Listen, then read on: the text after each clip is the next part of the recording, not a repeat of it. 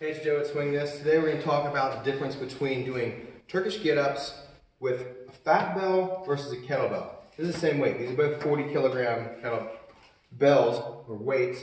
So this is 88 pounds and this is 88 pounds. So here, you know, first start with why I think the fat bell is absolutely wonderful for Turkish get-ups and control. So, top down here, and this guy over here, kick it back. Now, here's the thing. So, a lot of people say, or they think, that because this weight is evenly distributed, that it makes it easier, okay? That's the, exactly the opposite of what it is. So, until you've had your hands in one of these things, here's the difference. Now, I'm going to pivot around so you can see. Thing is, with this weight, if it goes any direction quickly, other than straight above, rotate, lift, and just get it back down, show the bottom part. Now, if I cross over, here's the thing. If this weight deviates and goes forward, I'm not going to be able to keep this, I'm not going to be able to control it. Put it that way.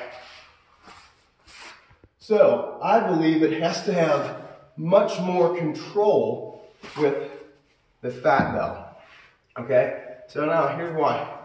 Take the same weight. 88 pound kettlebell.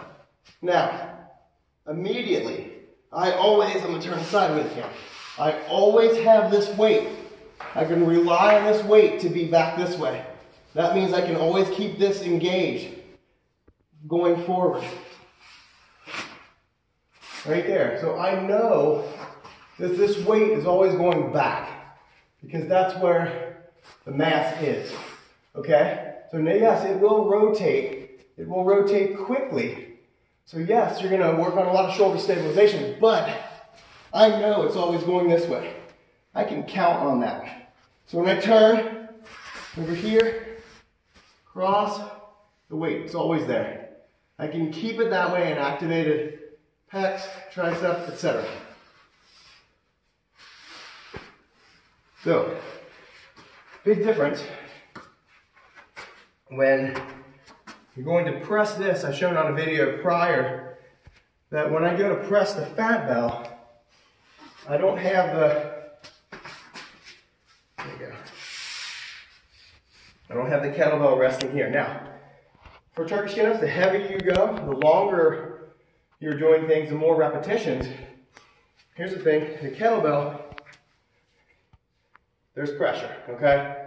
We all know that. The heavier the weight gets, the more pressure, fatigue, strain that you're gonna have on your forearm and coming down across the wrist.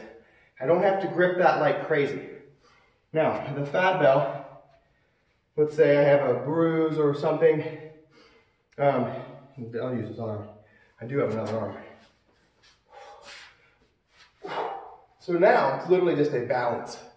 So what happens is, it is a little bit harder for me to press that fat bell because any deviation, 360 degrees, any deviation, and I can lose the path of this, okay?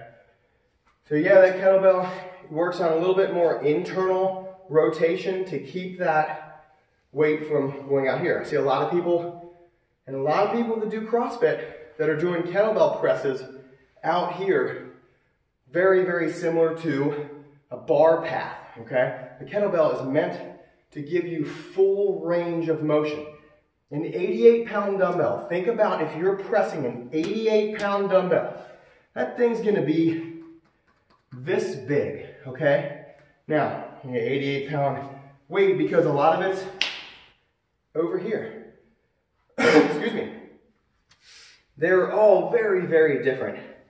And I think the only reason, one single reason that you might not be interested in using fat bells instead of your dumbbells because you already have a set of dumbbells and it's costly to replace.